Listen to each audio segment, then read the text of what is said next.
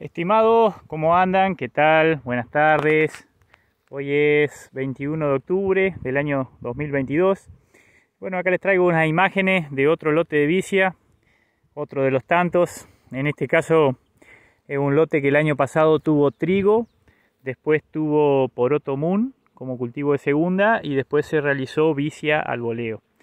Eh, bueno, la verdad que es un lote que en general está muy bueno, muy bien logrado. Realmente el control de maleza que hizo fue fabuloso. Se ven por ahí cada tanto alguna planta de mostacilla, pero en general realmente el control de maleza que ha hecho es fabuloso.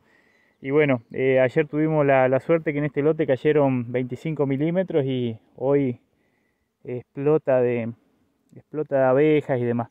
Pero bueno, no era por eso que hacía el video. Les quería mostrar eh, un ensayo que, que, está haciendo la gente del INTA, eh, Paola Eclesia, junto con Estefanía Appelans. Y bueno, seguro que me estoy nombrando, eh, olvidando de nombrar muchos otros colaboradores como Carolina Gregoruti, este, Lalo Novelli, seguro que alguien más debe estar trabajando en este ensayo, pero bueno, por ahí las cabezas del ensayo son este, Estefanía y Paola.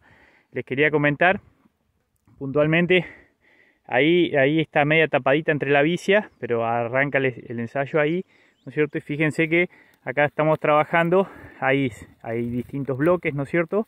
Con sus eh, respectivas repeticiones. Básicamente lo que se está investigando con este ensayo es la residualidad de la fertilización fosforada, ¿no?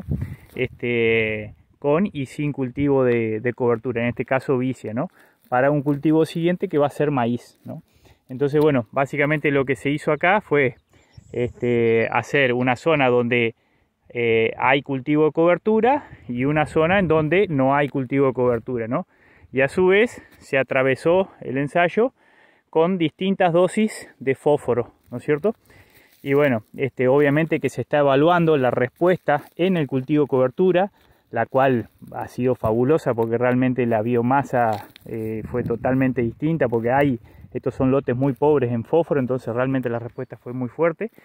Pero la idea es poder, si mal no recuerdo, de última Estefanía, corregime si me estoy equivocando, eh, si mal no recuerdo, la idea es poder evaluar el efecto residual que tiene esa, esa respuesta que tiene el cultivo de cobertura gracias a la fertilización fosforada, cómo se transmite en la respuesta en el cultivo posterior, que en este caso va a ser maíz, ¿no es cierto? Y bueno, y así sucesivamente también a través de las próximas campañas, porque este es un ensayo de larga duración, digamos.